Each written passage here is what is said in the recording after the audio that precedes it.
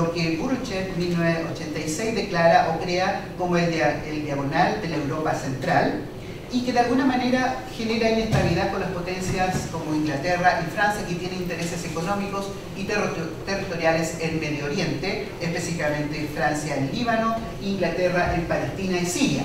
Ellos ya tenían intereses económicos de vía férrea que habían establecido y con la llegada del capitalismo alemán, ¿cierto? O de la, digo, capitalismo alemán, se eh, se afectados. ¿Qué pasa? Hace 1915, junto con la guerra, sabemos que en Pacha, en un, juego de fuerza, está tratando de ver hacia dónde dar, si dar hacia el entente o hacia las potencias centrales, y como la, entente no responde a, a sus exigencias, él enfrenta al Estado otomano a un golpe de fuerza. ¿Y cuál es este? Bombardear los puertos de Odessa y Sebastopol en 1915, lo que de alguna manera va a generar el quiebre del estatus quo que decía el Tratado de San Estefano y la posibilidad de ser atacada Turquía por parte de la Entente. Entonces podemos decir como conclusión que el Estado otomano es un renovado objeto de estudio de la historia política y las ciencias políticas para ver problemáticas contemporáneas. La participación del Imperio Otomano en la Gran Guerra se gesta a partir de la articulación y a la vez contradicción de tres discursos ideológicos antagónicos en su base como una forma de poder sobrevivir, pero que solo aceleraron su final que Estado en 1908. Repito, otomanismo, panislamismo y panturianismo, terminando este último por sobre los demás.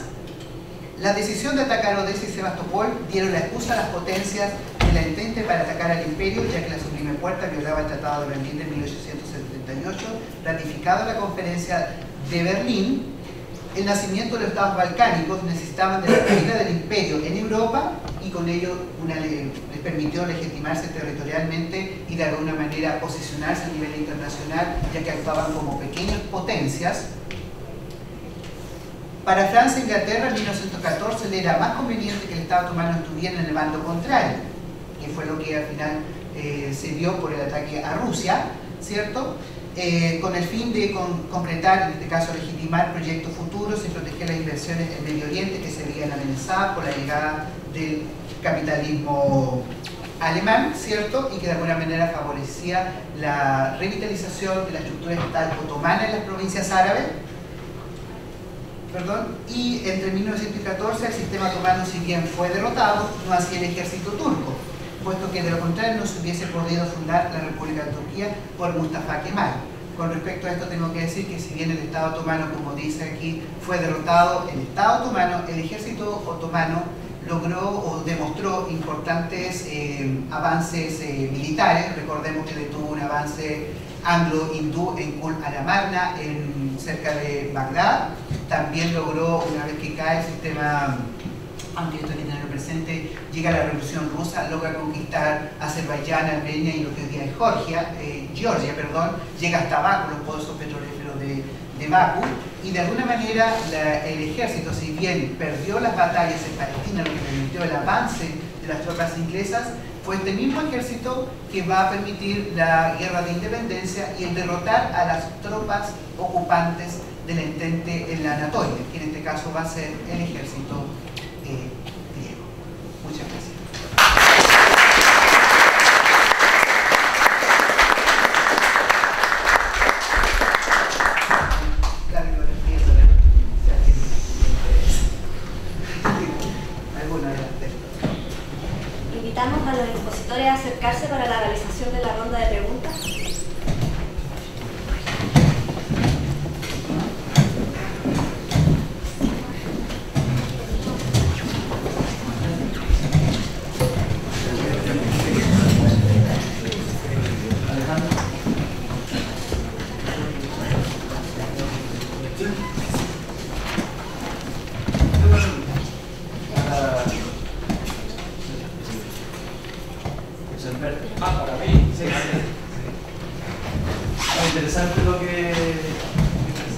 tengo una consulta. James Winters, el historiador norteamericano especializado en la guerra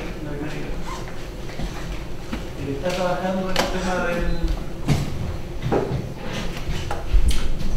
la desaparición de la imagen humana a partir de la guerra, o la transformación de la imagen y la guerra.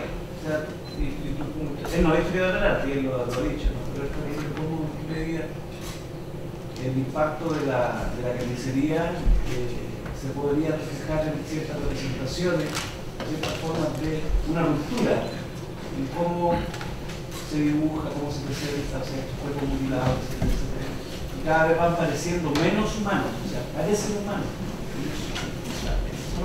Otra cosa. Entonces, ¿cómo lo ves tú? Eh, hay, eh, mira, hay la,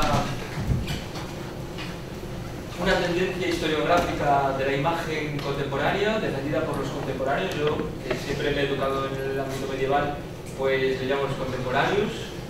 Eh, hablo siempre de la, la historia del arte.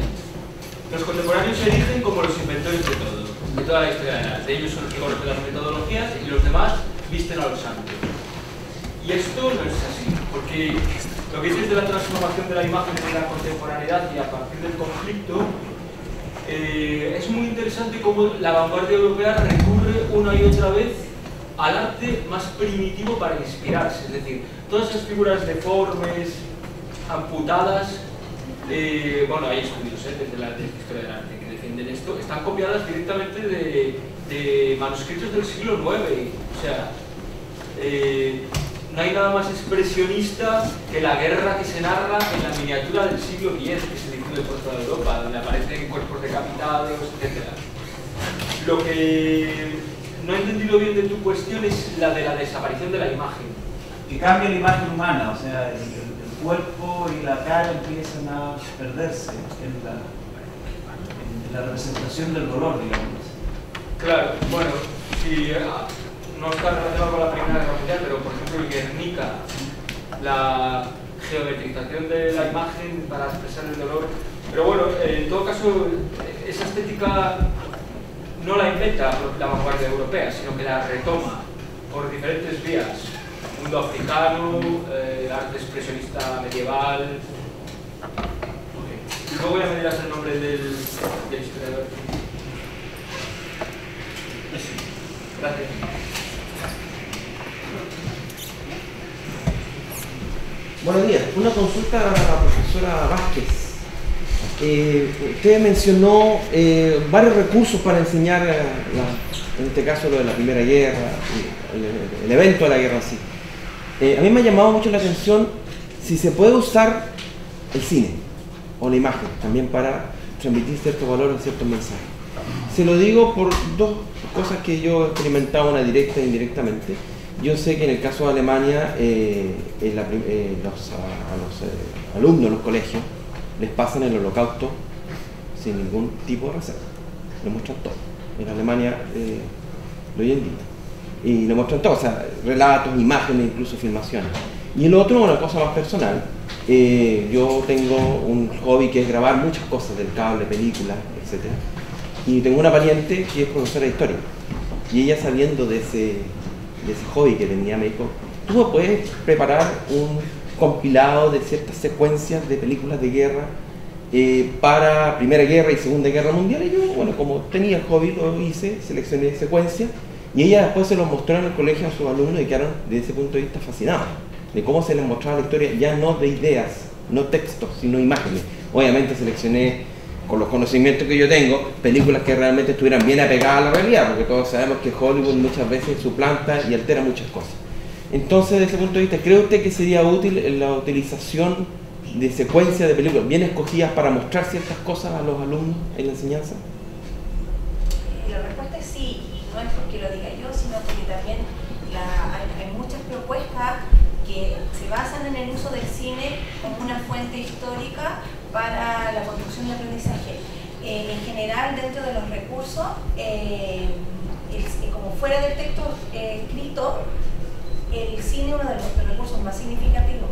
Y en, en, el caso de la Primera Guerra Mundial, de las dos guerras mundiales, pareciera ser que hay, ha una, una, atención bastante alta desde el punto de vista cinematográfico. Yo no lo quise tomar mucho porque como profesor Barría viene luego y trabaja un poco esa temática, Eh, de hecho, en el caso español hay, han aparecido varios libros que están situados como propuestas didácticas para la enseñanza de la historia a partir del cine, breve o...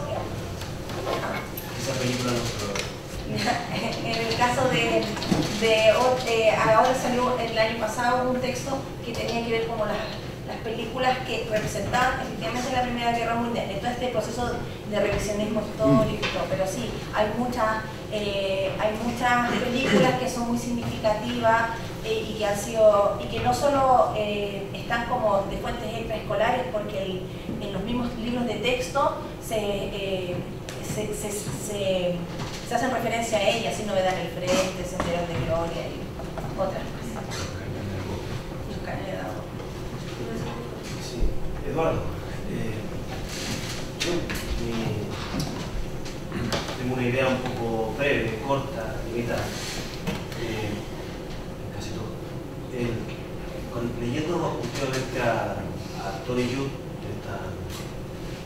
un libro que me regaló un amigo, eh, nunca tenía esta imagen de, tenía siempre esta imagen que el mundo terminaba así como en Alemania tuve esa percepción para el otro lado.